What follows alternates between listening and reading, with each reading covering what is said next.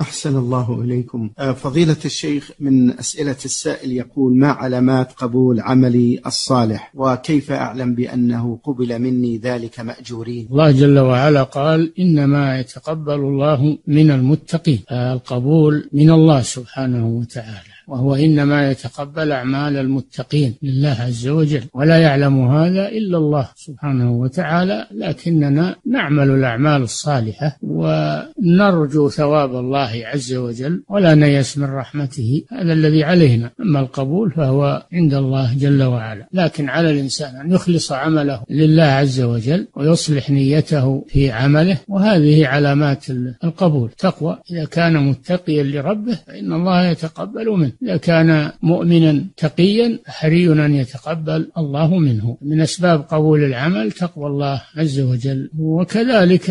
علامات القبول والله أعلم انشراح الصدر وطيب النفس بالطاعات ومحبة النفس للخير ومن أعظم علامات القبول إتباع الحسنة بالحسنة وإتباع الأعمال الصالحة بالأعمال الصالحة هذا من علامات القبول وأن الله تقبل منه ووفقه لمواصلة العمل الصالح نعم